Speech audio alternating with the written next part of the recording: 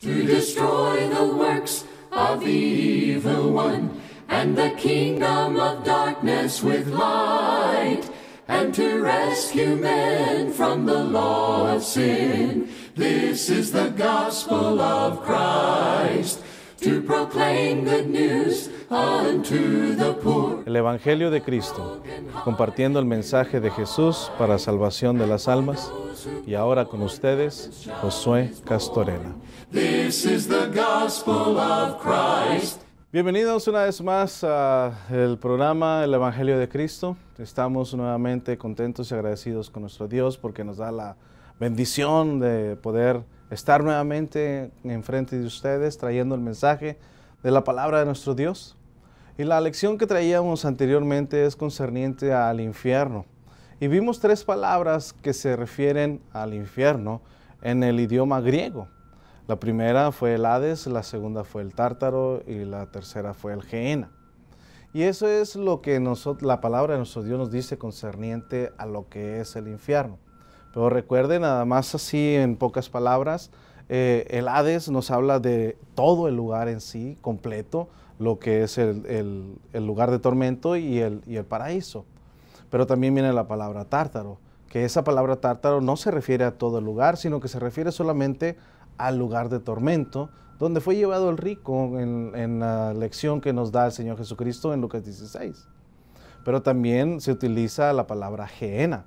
Y la palabra geena, acuérdese usted que decíamos que el Señor Jesucristo la utilizó en 11 de las 12 ocasiones que se utiliza esta palabra en el Nuevo Testamento.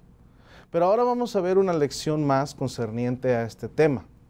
Y el tema que estaremos tratando el día de hoy se, titula La realidad del infierno.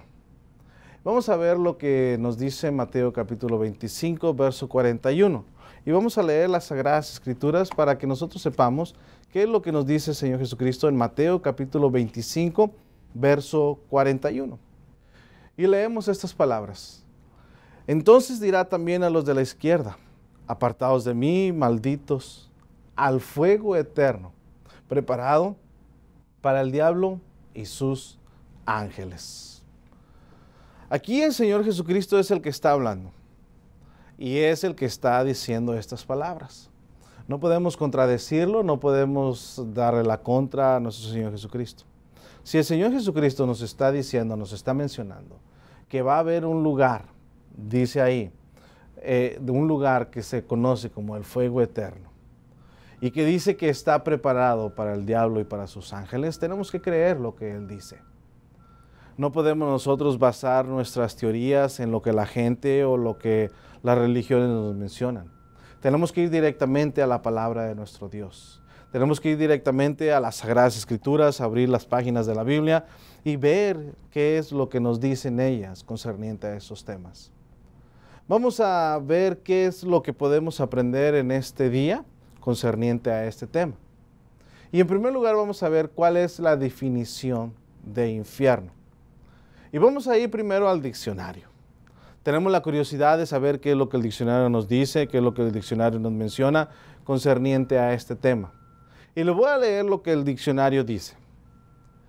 En la doctrina tradicional cristiana, lugar donde los condenados sufren después de la muerte.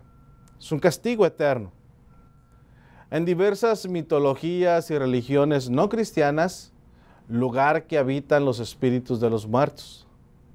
Y también dice lugar o situación que causa gran sufrimiento o malestar. También el diccionario nos dice que es sufrimiento o es un malestar muy grande. Y eso es lo que algunas de las cosas que leemos nosotros en el diccionario. Pero también nos dice el diccionario que en la religión cristiana es el estado de privación definitiva de Dios. Y eso es interesante, fíjese. En la religión cristiana es el estado de privación definitiva de Dios. Eso es lo que nos dice el diccionario con respecto a el infierno. Pero, ¿qué es la definición de acuerdo a la Biblia? Bueno, como lo mencionábamos la semana pasada, del griego Hades, Tártaro o Geena. Esas tres las encontramos en el Nuevo Testamento. Una vez más, Hades, Tártaro y Geena. Esas tres las encontramos en el Nuevo Testamento. Pero también viene una palabra en el hebreo que se le conoce como el Seol. Y esa la encontramos en el Antiguo Testamento. Usted puede leer, si gusta, el Salmo capítulo 16, verso 10. Pero también esa la encontramos en el Nuevo Testamento en Hechos 2.27, cuando se refiere al Hades. Seol en el hebreo, Hades en el griego. Pero acuérdese que es una sinécdoque, que es hablar la parte por el todo o el todo por la parte. Y es cuando se refiere a todo el lugar en sí, completo. Entonces, eso es la definición concerniente a las Sagradas Escrituras, a la Biblia. Pero vamos a ver qué es lo que dice la gente acerca del infierno. ¿Qué es lo que la gente nos dice concerniente al infierno? Bueno, algunos dicen que el infierno, no existe. Eso es lo que la gente dice o eso es lo que la gente menciona, que el infierno no existe. Y bueno, respetamos las opiniones de todas las personas. También algunos dicen que el infierno existe, pero que no es eterno. Dicen que será destruido en la segunda venida de Cristo. Y bueno, eso es lo que también mencionan las gentes en este tiempo. Algunos dicen que el infierno existe y que es un lugar de sufrimiento eterno. Eso es lo que la gente menciona concerniente al tema del infierno. Dicen que el infierno existe y que es un lugar de sufrimiento eterno. Bueno, acabamos de ver qué es lo que la gente dice. Vemos la definición del diccionario, vemos la definición de la Biblia, vemos qué es lo que dice la gente.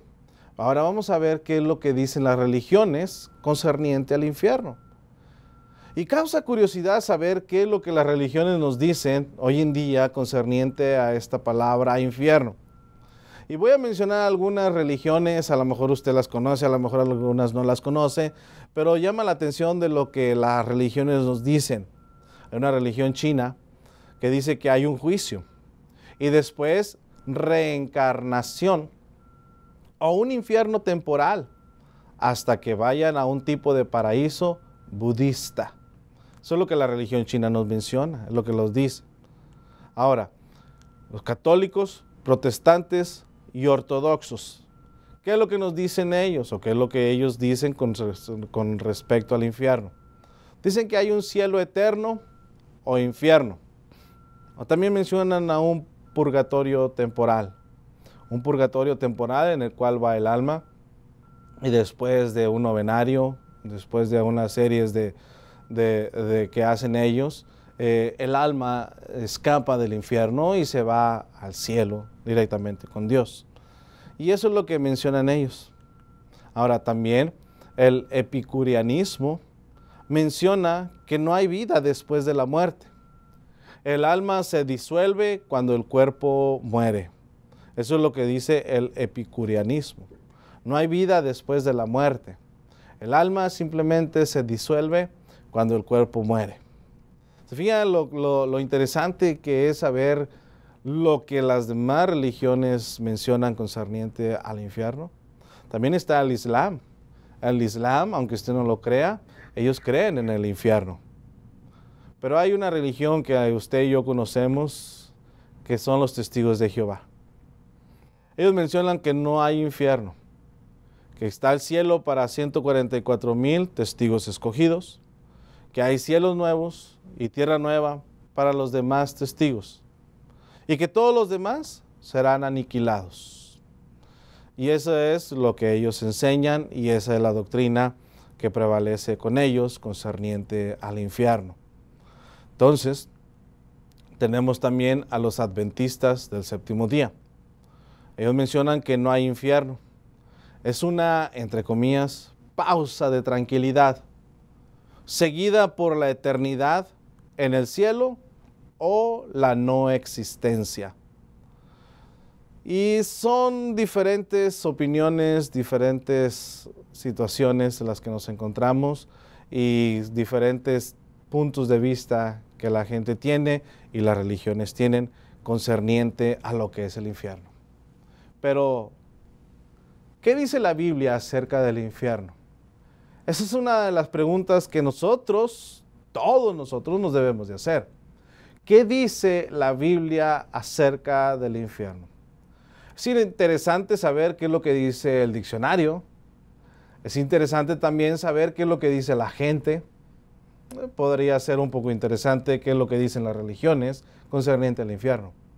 Pero lo más importante y lo que a nosotros nos debe de interesar más es lo que dice la Biblia acerca del infierno. ¿Para qué?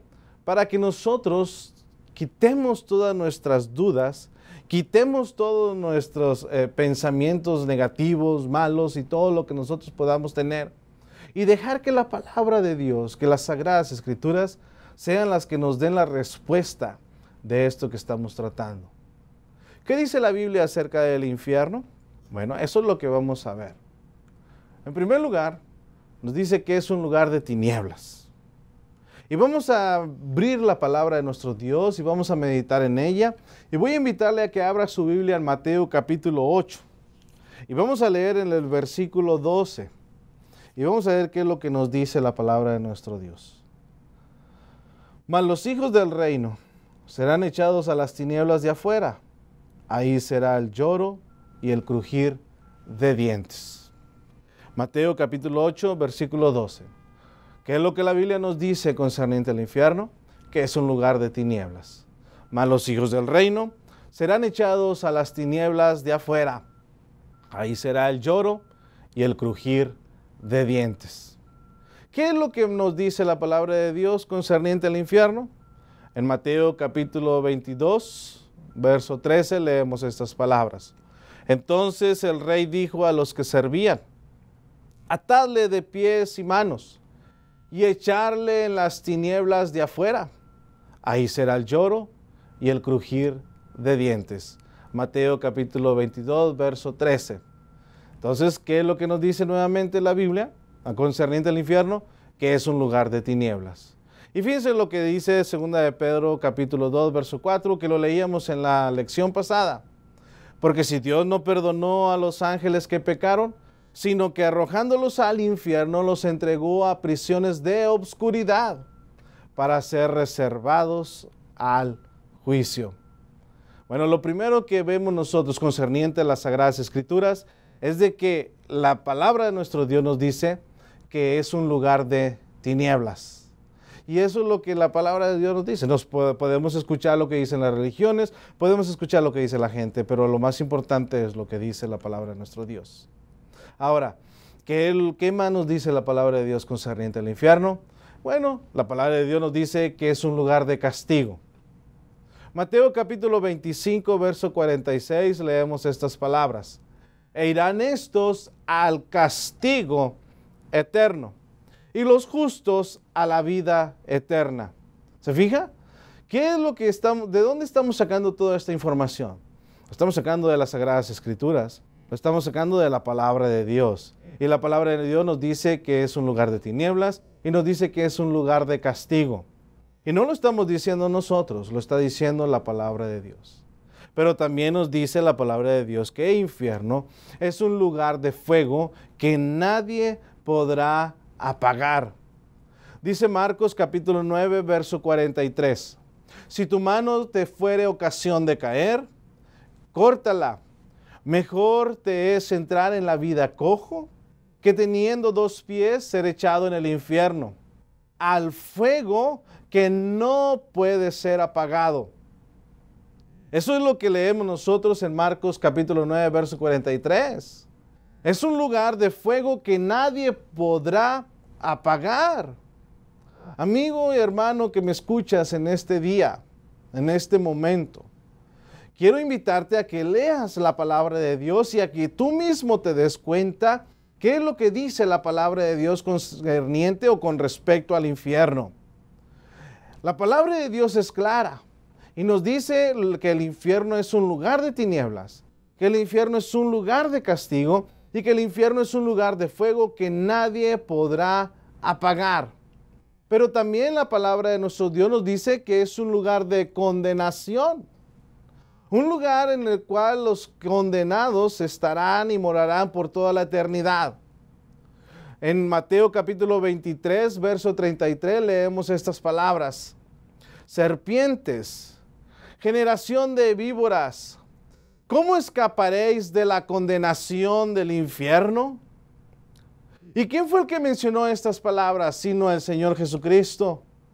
El Señor Jesucristo le dice a las personas que estaban ahí, sobre todo a los fariseos, les dice, serpientes, generación de víboras, ¿cómo van a escapar ustedes de la condenación del infierno? Es una pregunta que les hace. El Señor Jesucristo es claro concerniente a este tema. Pero también la palabra de nuestro Dios nos dice que es un lugar de intenso dolor. Y vamos a leer una parte de lo que dice Lucas capítulo 16, versos 23 y 24. Solamente vamos a leer algunas frases de esos versículos. En el Hades alzó sus ojos y fíjense lo que dice, estando en tormentos. Y más adelante le dice el rico Abraham, porque estoy atormentado en estas llamas. ¿Cómo se sentía el rico en ese momento? En tormento. En Mateo capítulo 25, verso 30 leemos, y al siervo inútil, echarle en las tinieblas de afuera. Ahí será el lloro y el crujir de dientes. Eso dando a entender el intenso dolor el cual tendría que padecer esta persona. Entonces, ¿a quién vamos a creer ¿Y a quién le vamos a dar la razón? ¿A lo que dice la gente? ¿A lo que dice el diccionario? ¿A lo que dicen las religiones? ¿O a lo que dice Dios? Pero no es todo. La palabra de nuestro Dios también nos dice que es un lugar donde no hay reposo. No hay reposo para las personas que están en ese lugar. Es un lugar donde nadie desearía estar y a donde nadie le decíamos que esté o que vaya. Es un lugar donde no hay reposo. Apocalipsis capítulo 14, verso 11, leemos estas palabras. No tienen reposo de día ni de noche los que adoran a la bestia y a su imagen, ni nadie que reciba la marca de su nombre. Apocalipsis capítulo 20, verso 10 y el diablo que los engañaba fue lanzado en el lago de fuego y azufre, donde estaban la bestia y el falso profeta. Y fíjese esto, amigo y hermano, y serán atormentados día y noche por los siglos de los siglos. Qué tremendo, hermanos y amigos. Tremendo lo que está sucediendo y lo que va a suceder en ese lugar. Una vez más esta cita. El diablo que los engañaba fue lanzado en el lago de fuego y azufre. ¿Qué va a pasar? Ahí donde estaba la bestia y el falso profeta. ¿Qué va a suceder con ellos? Van a ser atormentados día y noche. ¿Por cuánto tiempo? Por los siglos de los siglos. ¿Quisiera usted estar en un lugar semejante a este? ¿Quisiera usted reposar por toda la eternidad en un lugar como ese? Estoy seguro que no. Estoy seguro que ni a usted ni a mí nos gustaría estar en un lugar semejante al que estamos nosotros mencionando en este momento. Es difícil, es duro, pero es la realidad de las cosas. Ahora, ¿qué más nos dice la palabra de nuestro Dios concerniente al infierno. Nos dice que es un lugar eterno. Ahorita le mencionábamos lo que leíamos en Apocalipsis. Van a ser atormentados día y noche por los siglos de los siglos. Pero también la palabra de nuestro Dios dice que es un lugar eterno. Mateo capítulo 25, versículo 41 lo leímos al principio. Y leímos las palabras de nuestro Señor Jesucristo. Irán estos al castigo eterno y los justos a la vida eterna. Unos al castigo, pero ¿al castigo qué? Al castigo eterno. Y otros a la vida. ¿A la vida qué? la vida eterna. ¿Cuál de los dos preferimos nosotros? ¿El castigo o la vida? Estoy seguro que todos preferimos la vida eterna al castigo eterno. Dice segunda carta a los tesalonicenses capítulo 1 versículo 9, los cuales sufrirán pena, y vi esta frase, de eterna perdición. Ellos van a sufrir pena de eterna perdición excluidos de la presencia del Señor y de la gloria de su poder. Qué triste va a ser ese momento cuando las personas estén, uno, sufriendo pena de eterna perdición. Y número dos, excluidos de la presencia del Señor y de la gloria de su poder. Dos cosas muy tristes para las personas. Número uno, van a sufrir eternamente Número dos, van a ser excluidos completamente de la presencia del Señor. Y no queremos nadie, a nadie, o no queremos que nadie pase por esa situación. El infierno denota oscuridad. Y la oscuridad simboliza la desolación de ese lugar. Es la oscuridad, la desolación de ese lugar. Pero también va a haber llanto. Y el llanto simboliza el dolor en ese lugar. El dolor que se va a sufrir estando en ese lugar. Y viene la frase el crujir de dientes. El crujir de dientes simboliza la angustia de ese lugar. Esa es la angustia que nosotros vamos a sufrir si no obedecemos el Evangelio. Una vez más, la oscuridad simboliza la desolación de ese lugar. El llanto simboliza el dolor en ese lugar. Y el crujir de dientes simboliza la angustia de ese lugar. Llegamos a la conclusión. ¿Qué conclusión es a la cual nosotros llegamos? Bueno, llegamos a la conclusión de que el pecado demanda que exista el infierno. El pecado entró al hombre y el pecado fue lo que ocasionó o es lo que demanda que exista el infierno. Romanos capítulo 6, verso 23. El pecado tiene que ser castigado. Primera de Juan capítulo 3, verso 4. Puesto que el pecado es transgresión de la ley, según lo que leemos en Primera de Juan 3, 4. Entonces, el pecado tiene que ser castigado. Romanos capítulo 6, verso 23 si no hubiera castigo por transgredir la ley, entonces no hubiera necesidad de que se tuviera una ley. Si no hay castigo por transgredir esa ley, entonces ¿para qué tener una ley? Con esto estamos diciendo que el pecado demanda que haya o que exista un infierno para castigar a los transgresores de la ley de Dios. La vida después de la muerte demanda que exista el infierno. No nada más el pecado demanda que existe el infierno, sino también la vida después de la muerte demanda que existe el infierno. Cristo habló de la vida después de la muerte, Mateo capítulo 22, del versículo 23 al 33. El Señor Jesucristo habló de la vida después de la muerte. Entonces la vida después de la muerte demanda que exista el infierno. Tenemos el claro ejemplo del rico y Lázaro en Lucas capítulo 16, versículos 19 al 31. Entonces, la vida después de la muerte demanda que exista el infierno. La existencia de Satanás, número tres, y sus ángeles demanda que existe el infierno. No nada más el pecado demanda que existe el infierno. No nada más la vida después de la muerte demanda que existe el infierno, sino que también la existencia de Satanás y la de sus ángeles demanda que exista el infierno. Vamos a citar nuevamente Mateo capítulo 25, verso 41. Entonces dirá también a los de la izquierda, apartados de mí, malditos al fuego eterno, preparado para Satanás y sus ángeles. Pero también en Judas, versículo 3, leemos estas palabras. Y a los ángeles que no guardaron su dignidad, sino que abandonaron su propia morada, los ha guardado bajo oscuridad, en prisiones eternas para el juicio del gran día. Estos dos versículos nos indican y nos dan a entender de que va a llegar el momento, va a llegar el día, el día del juicio en el cual Satanás y sus ángeles y todos los suyos serán echados en el infierno. Por eso decimos que la existencia de Satanás y sus ángeles demanda que exista el infierno.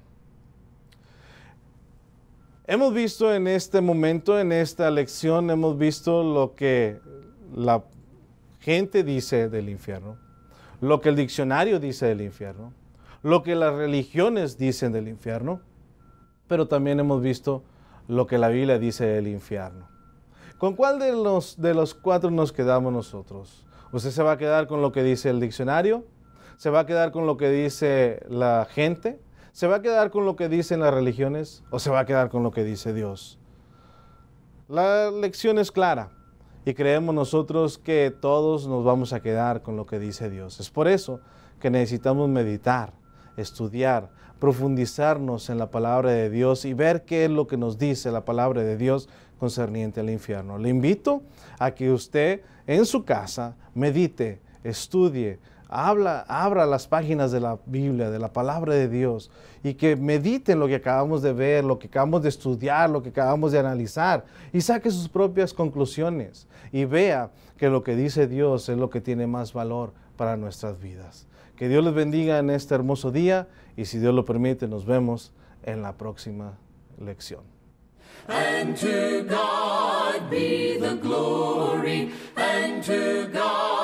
The